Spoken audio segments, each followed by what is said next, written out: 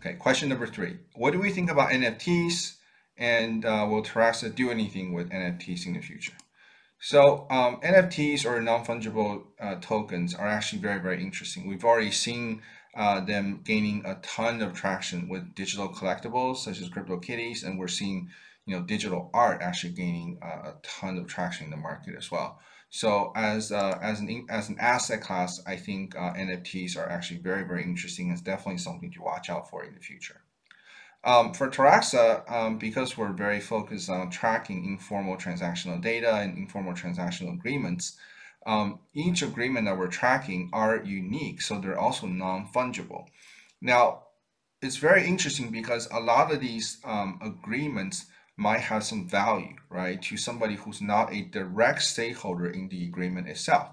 So, for example, you might have a few contractors on a construction site agreeing to uh, some minor agreement during their daily work.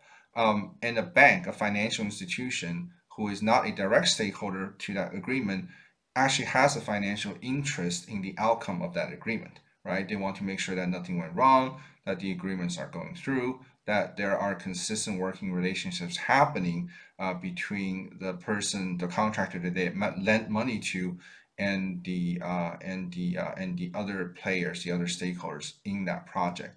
So that is actually worth something to the bank to see a successful execution of these agreements and to see that these agreements actually occur and take place, right? So um, it's not exactly like uh, a piece of digital collectible, but um, these are non-fungible assets that, uh, like I said, an indirect stakeholder uh, will be interested in. So longer term, uh, what Taraxa really wants to do is that by collecting all these um, transactional relationships, right, captured uh, through these informal agreements, we are actually building a network of reputations, right? And this set of reputations, when revealed, uh, coupled with revealed identities, could actually lend credibility and also potentially value to all these non-fungible uh, informal agreements that we're capturing on the network.